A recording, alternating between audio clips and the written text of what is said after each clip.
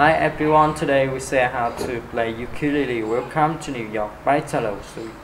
First, those keyboard. The chords to this song are C, D, D, and E M. The verb and interlude should play pace of step, pace of step, rope, or step, of step, rope tap and to play along G G D C C Choose the chorus and outro to play. Down up tap.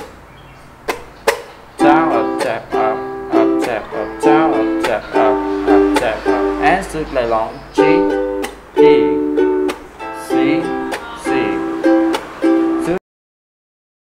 post chorus to play down up tap up up tap up down up tap up up tap up and to play long G.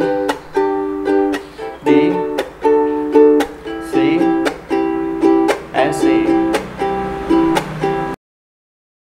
To surprise to play four whole step roll whole tap roll four whole tap whole tap and to play long E M D